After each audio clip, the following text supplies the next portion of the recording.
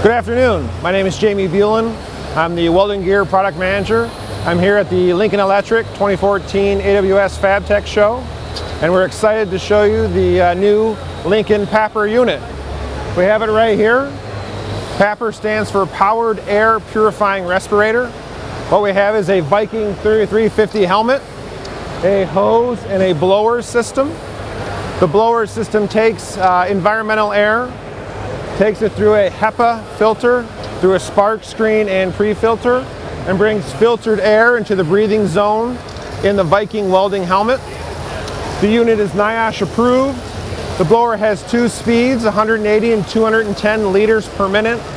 The motor automatically compensates to maintain that flow rate as the filter gets, uh, filter filters the air and gets clogged, so the motor automatically adjusts. As the air comes up, it filters the air into the breathing zone. Uh, the Viking helmet offers a new headgear, a three-year warranty, and 111 optics. A unique feature with the PAPR is two baffling systems in the helmet.